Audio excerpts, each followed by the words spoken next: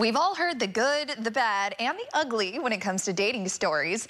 But has a person ever done or said something so cringeworthy on a date that you immediately lost interest?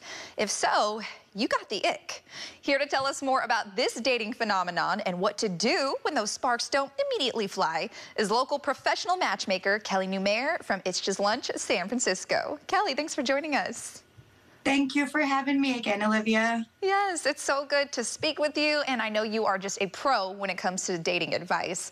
But I have to ask. I like to Kelly. think so. yes, Kelly, I have to ask when it comes to this ick that we keep hearing about, especially in the dating world, what exactly does that mean?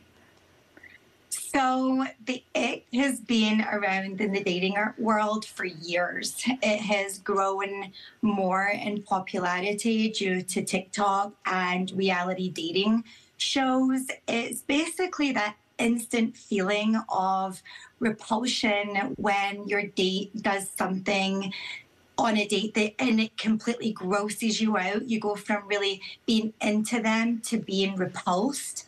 Uh, depending on the person, it can be something from huge to being rude to the wait staff, which we never want to do, to the way your date chews or eats, and it just completely turns you off.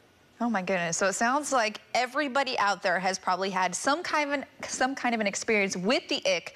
But in your experience, when do daters typically experience that on dates? It's normally fairly early in your dating relationship. So normally within the first couple of dates. Um, so it, you know, it can it, can it can go for months. Um, a couple of months into your relationship, you can start feeling it, but that's normally because you're growing apart and you believe that that person is just not your person for the long term. But you can it can happen on date number one within five minutes. oh my goodness, and that is pretty darn quick. But again, like I said, I'm sure somebody out there has experienced that. And Kelly, I know there's not one answer, specific answer to this next question, but what should daters do if they do experience that ick? You know, that feeling is pretty difficult to go over, but you have to kind of take a step back and decide if it's a deal breaker, right? So I tell my clients all the time, it's just lunch, that chemistry and sparks fly is not going to happen within the first, you know, date. So I would say give chemistry a chance and maybe go out on a second, third, or fourth date and if you're still feeling the ick, then you want to just go with your gut and cut it. Go with your gut and cut it. So a couple of different options there. Maybe give them a second chance or go with your gut and cut it.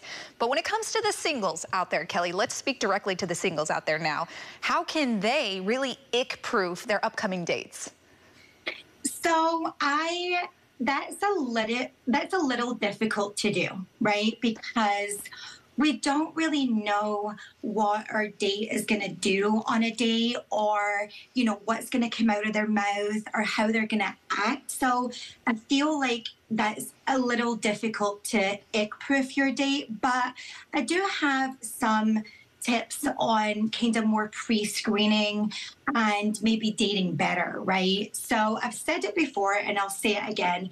You want to be open-minded. So we know that we're never going to get 100% of what you're looking for, right? It doesn't exist, right? So you want to kind of really look for the good things in some in someone. We can do 10 amazing things and then one bad thing and that one bad thing we can focus on. So really be sure that we're not just being uber sensitive about that one thing and then focusing on the other 10 things that that person brings to the table. Okay.